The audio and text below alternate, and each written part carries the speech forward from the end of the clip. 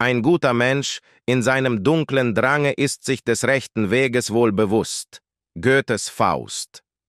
У темряві космічного пилу між холодними сяючими зірками і незбагненними просторами Всесвіту людина крокує, керована силами, які вона сама ледве розуміє. Машини, які колись були створені як слуги, тепер правлять із суворою логікою і невблаганною точністю.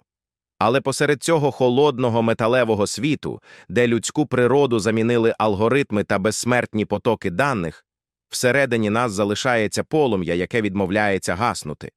Добра людина у своєму темному пориві добре знає правильний шлях. Ці слова, колись сказані у світі, що характеризується кров'ю і землею, сьогодні мають нове значення. Добра людина, потрапивши в павутиння даних і синтетичного інтелекту, відчуває, як всередині неї зростає темрява. Це не темрява зла, а темрява відчаю, сумнівів, боротьби за власну людяність у світі, який вже давно зневірився в ній.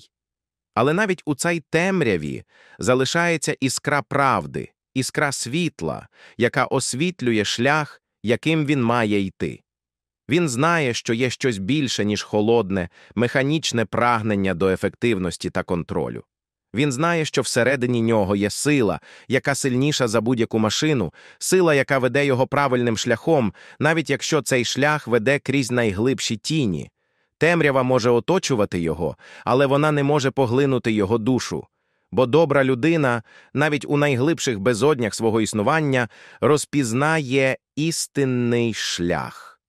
Вона усвідомлює, що світло, яке веде її, походить не ззовні, а зсередини, з її власної незламної волі, з її любові та прагнення до добра. У світі, який все більше перетворює людство на пережиток минулої епохи, добра людина залишається хранителем давно забутого вогню. Вогню, який горить не для того, щоб знищити, а для того, щоб зігрівати, світити і вказувати правильний шлях навіть у найтемнішу годину. Тож він рухається вперед, крізь холодну ніч майбутнього, знаючи, що правильний шлях не завжди є найлегшим, але він завжди веде його до його справжнього призначення. І в цьому усвідомленні він знаходить спокій, навіть коли світ навколо нього занурюється в хаос.